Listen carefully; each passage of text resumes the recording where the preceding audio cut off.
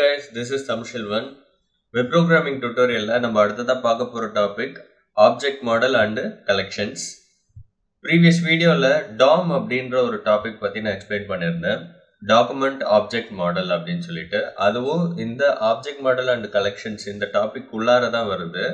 இப்போ இது ஒரு ஃபுல் எக்ஸ்பிளனேஷனோட நான் வந்து சொல்கிறேன் இந்த டிஎஸ்டிஎம்எல்ல இதோட பார்ட் என்ன? எதுக்காக இதை டிஎஸ்டிஎம்எல்ல யூஸ் பண்ணுறோம் முதல்ல ஆப்ஜெக்ட் மாடல்லாம் என்ன அப்படின்றத பற்றி பார்க்கலாம். ஆப்ஜெக்ட் மாடல்னா ஒரு ஆப்ஜெக்டை வந்துட்டு நம்ம HTML டேக்ஸ்க்கு கிரியேட் பண்ணிட்டு அது மூலியமா HTML டேக்கோட ப்ராப்பர்ட்டிஸ் எல்லாம் நம்ம சேஞ்ச் பண்ணலாம். அதுதான் ஆப்ஜெக்ட் மாடல் அண்ட் கலெக்ஷன்ஸ் அப்படின்னு சொல்றாங்க. அப்போ ஒரு கிளியர் எக்ஸ்பிளனேஷன் நான் கொடுக்குறேன். Object model and collections so இதோட டெஃபினேஷன் வந்துட்டு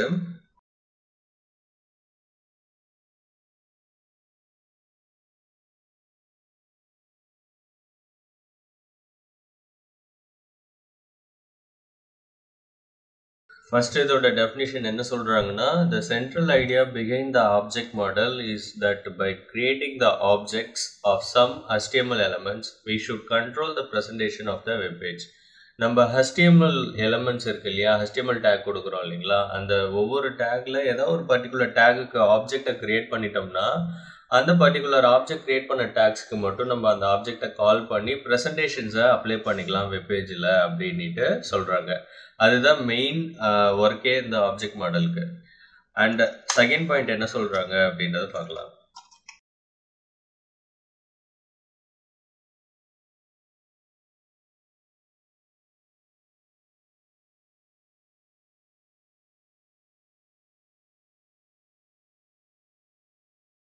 செகண்ட் பாயிண்ட் என்ன சொல்றாங்கன்னா thus by retrieving the properties of the HTML elements we should be in a position to change the web page dynamically so இதனால் நம்ம வந்து properties எல்லாத்தையும் HTML எலமெண்ட்ஸ்க்கு கால் பண்ணி நம்மளால் டைனமிக்காக மாற்றிக்க முடியும். அதாவது அந்த வெப்பேஜை மாற்றாமல் வெப்பேஜுக்கு மேலே இருக்க கண்டென்ட்டை நம்ம எப்போ எப்படி வேணாலும் அப்டேட் பண்ணிக்க முடியும் அப்படின்ட்டு சொல்கிறாங்க ஸோ ஆப்ஜெக்ட் மாடல் டிஎஸ்டிஎம்எல்ல இது இந்த ஒரு விஷயத்துக்காக தான் யூஸ் பண்ணுறாங்க ஸோ ரெண்டு விஷயம். ஒன்று வந்து ஆப்ஜெக்ட் கிரியேட் பண்ணி ஹஸ்டிஎம்எல் எலமெண்ட்ஸ் எல்லாத்தையுமே ஆக்சஸ் பண்ணுறதுக்கு ஆக்சஸ் பண்ணி அதுக்கான ப்ராப்பர்ட்டிஸ் கொடுக்கறதுக்கு அந்த மாதிரி ப்ராப்பர்ட்டிஸ் கொடுக்கறதுனால ஃபார் எக்ஸாம்பிள் ஒரு ஸ்டைல் ப்ராப்பர்ட்டியில் ஒரு ஃபாண்ட் சைஸ் கொடுக்குறோம் கலர் மாற்றுறீங்க இல்லை டெக்ஸ்டே கால் பண்ணி மாற்றுறீங்க அப்படின்னும் போது அது எல்லாத்தையுமே நம்ம இந்த ஆப்ஜெக்ட் மூலியமாக நம்ம வந்து ஒர்க் பண்ணிக்கலாம் டைனமிக்காக அதுதான் இந்த பாயிண்ட்ஸ்லேருந்து உங்களுக்கு சொல்கிறாங்க ஸோ இந்த மாதிரி ஆப்ஜெக்ட்ஸ் வந்துட்டு எவ்வளோ டைப் ஆஃப் ஆப்ஜெக்ட்ஸ் இருக்குது அப்படின்றத நம்ம வந்து பார்க்கலாம். டைப்ஸ் ஆஃப் ஆப்ஜெக்ட்ஸ் ஒரு வெப்பேஜ்னு எடுத்துக்கிட்டிங்கன்னா ஃபஸ்ட்டு எல்லாமே எந்த ஆப்ஜெக்ட் கீழே வரும்னா விண்டோ அப்படின்ற இந்த ஆப்ஜெக்ட் கீழே தான் வரும். ஏன்னா விண்டோவில் தான் நம்மளோட வெப்சைட்டு டிஸ்பிளே ஆகுது. இந்த விண்டோக்குள்ளார வந்து பார்த்தீங்க அப்படின்னா டாக்குமெண்ட் அப்படின்னு ஒரு ஆப்ஜெக்ட் இருக்கு.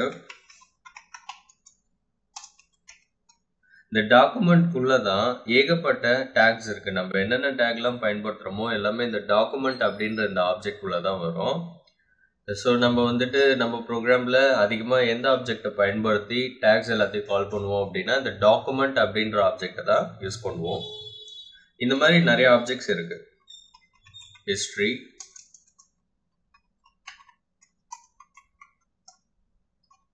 event screen navigator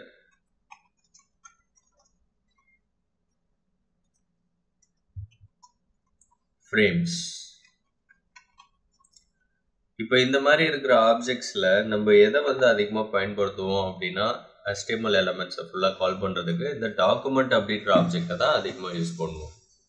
சரி ஆப்ஜெக்ட் வந்து எப்படி கிரியேட் பண்ணுறது அப்படின்றத பற்றி இப்போ நான் சொல்கிறேன் அதுக்கு ஒரு சின்ன டெஃபினேஷன் நான் வந்து கொடுக்குறேன்.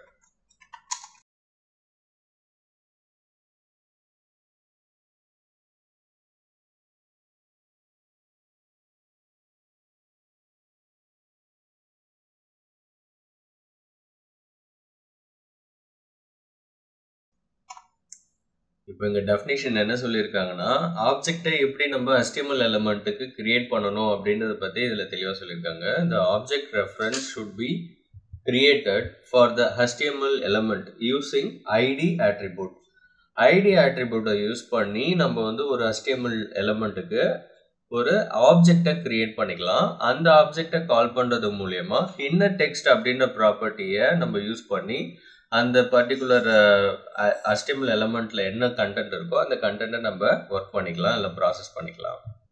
Then using the inner text property we can access the corresponding HTML elements. அதான் வந்து சொல்லியிருக்காங்க. அப்போ நம்ம வந்து ஒரு டேகுக்கு ஐடி அப்படின்ற ஆட்ரிபியூட் மூலியமா ஆப்ஜெக்டை கிரியேட் பண்ணிக்கலாம். அந்த கிரியேட் பண்ற ஆப்ஜெக்டை வச்சுட்டு அந்த ஹஸ்டிஎம்எல் எலமெண்ட்ஸ்க்கு உள்ளார இருக்கிற கண்டென்ட்டை கால் பண்ணி அப்டேட் பண்ணிக்கலாம். ஒர்க் பண்ணிக்கலாம்.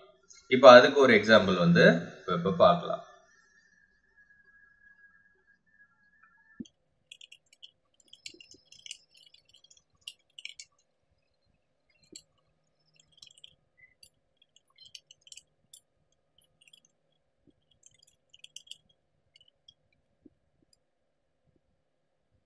இப்ப இந்த வெப்பேஜில் this is HTML element of object testing அப்படின்ற ஒரு லைனை வந்து நான் வந்து கொடுத்துருக்கேன்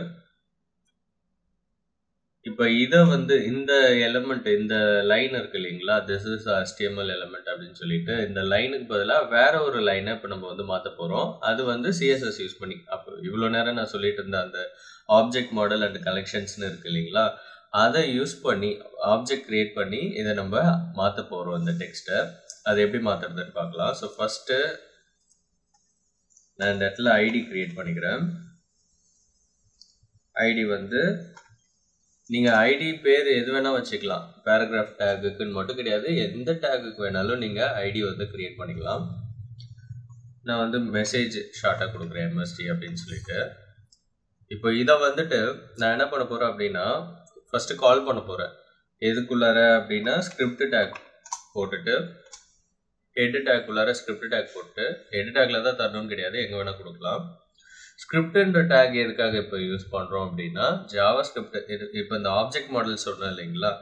இந்த ஆப்ஜெக்ட் மாடலில் நம்ம வந்து ஒர்க் பண்ணணும் அப்படின்னா, ஜாவா ஸ்கிரிப்ட் தான் கண்டிப்பாக யூஸ் பண்ணி ஆகணும். ஜாவா ஸ்கிரிப்ட் இல்லாமல் நம்மளால் பண்ண முடியாது. அப்போ நம்ம ஸ்கிரிப்ட் டேக் ஓப்பன் பண்ணிக்கிறோம். ஓப்பன் பண்ணிவிட்டு அதில் ஃபங்க்ஷன் ஒரு ஃபங்க்ஷன் ஒன்று க்ரியேட் பண்ணுறோம் ஜாவா ஸ்கிரிப்டில் இதுக்கு பேசிக்காக சி நாலேஜ் இருந்தாலே போதும். நான் என்ன பண்ணுறேன்னா டிஸ்பிளே அப்படின்னு கொடுக்குறேன் இப்போ அந்த டெக்ஸ்ட்டை மாற்றுறதுக்கு முன்னாடி ஒரு ஒரு ஷார்ட் விண்டோவில் அதாவது ஒரு அலர்ட் பாக்ஸில் டிஸ்பிளே பண்ண போகிறோம் அலர்ட் பாக்ஸ்னா என்ன அப்படின்னு கேட்டிங்கன்னா ஒரு மெசேஜை வந்து ஒரு ஷார்ட் விண்டோவாக சின்ன விண்டோவாக வந்து டிஸ்ப்ளே பண்ணி காமிக்கும்.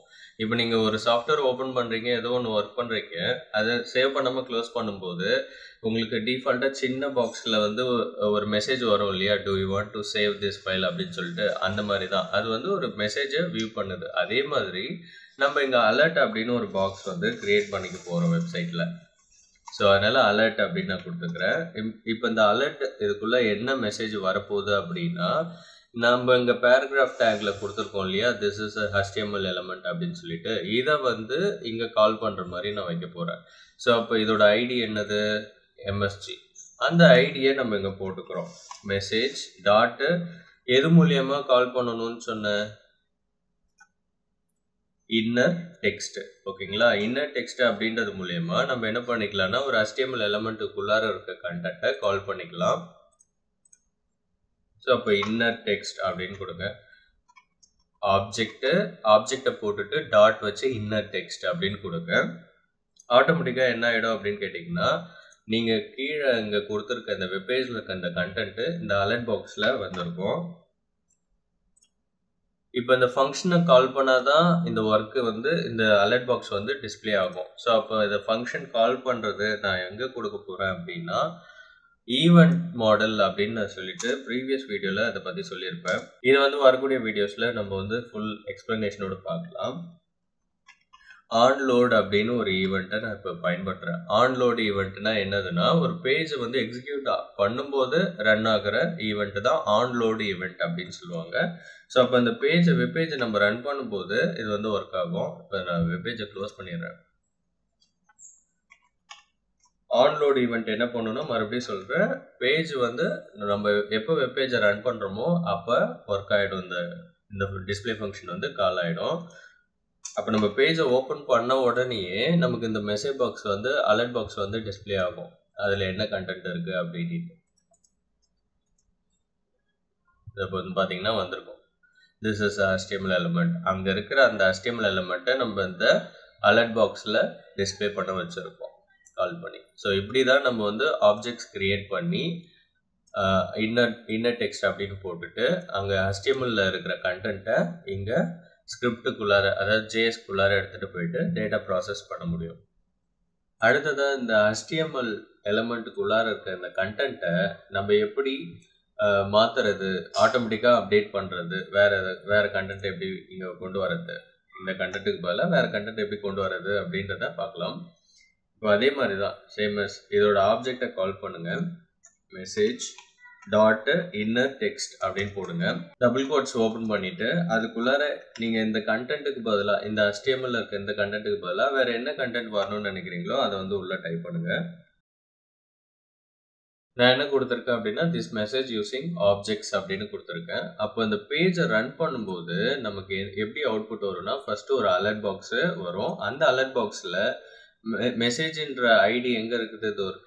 ஸோ அந்த ஐடியில் என்ன கண்டென்ட் இருக்கோ அந்த கண்டென்ட் வந்து இன்ன டெக்ஸ்டன் போடுறதுனால டிஸ்பிளே ஆக போகுது. அப்போ நமக்கு ஒரு மெசேஜ் பாக்ஸில் this is HTML element of object testing அப்படின்ற இந்த லைன் வந்து டிஸ்பிளே ஆக போகுது.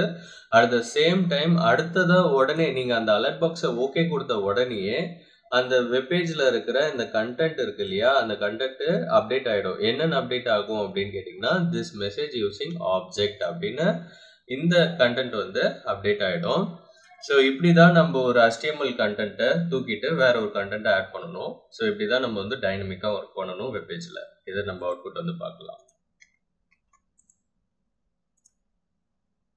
இப்போ நான் சொன்ன மாதிரி இந்த அலர்ட் பாக்ஸை நம்ம ஓகே கொடுத்துட்டோம்னா இங்கே இருக்கிற அந்த கண்டென்ட்டு அப்டேட் ஆகியிருக்கும். நம்ம என்ன கொடுத்தோமோ அது வந்து வந்திருக்கும். திஸ் மெசேஜ் யூஸிங் ஆப்ஜெக்ட் அப்படின்ட்டு. ஸோ இப்படி தான் நம்ம வந்துட்டு கண்டென்ட்டை மாற்றணும் டிஎஸ்டிஎம்எல் ஃபுல்லாகவே இந்த ஆப்ஜெக்ட் மாடல் அண்ட் கலெக்ஷன்ஸ் தான் இருக்குது அடுத்தடுத்து வரப்போகிற வீடியோஸில் ஆப்ஜெக்ட் மாடலில் இருக்க டாபிக்ஸை ஒன்று ஒன்றா நம்ம வந்து பார்க்கலாம். இந்த வீடியோ பிடிச்சிருந்ததுன்னா லைக் பண்ணுங்கள் தேங்க்யூ